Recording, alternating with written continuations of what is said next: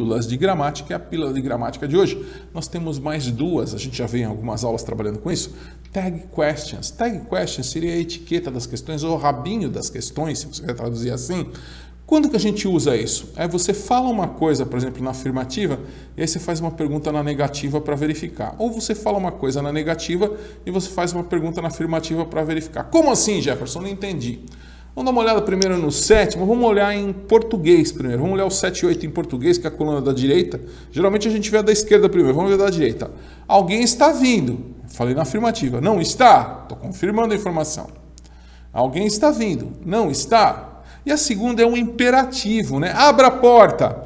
E aí, é, não, não, aí não tem uma inversão, é um caso especial. A gente diz está bem, é uma maneira de fazer a versão em português. Mas para você entender mesmo é o item 7. Alguém está vindo? Não está? Em inglês, o item 7. Somebody is coming. Alguém está vindo. Quando a gente usa o somebody, a gente vai usar isn't he. Alguém está vindo, não está? Eu não sei se é he ou she, eu uso he. Se for she, depois a gente corrige, tá?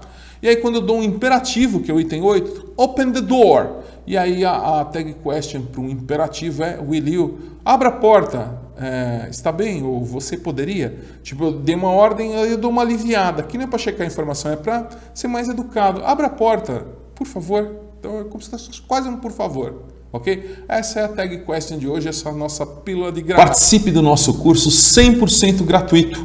Aprenda inglês com o que você gosta, com músicas, filmes, atualidades e programação neurolinguística. Clique no link que está em algum lugar aqui nesse post ou em nosso perfil no Instagram e garanta a sua vaga.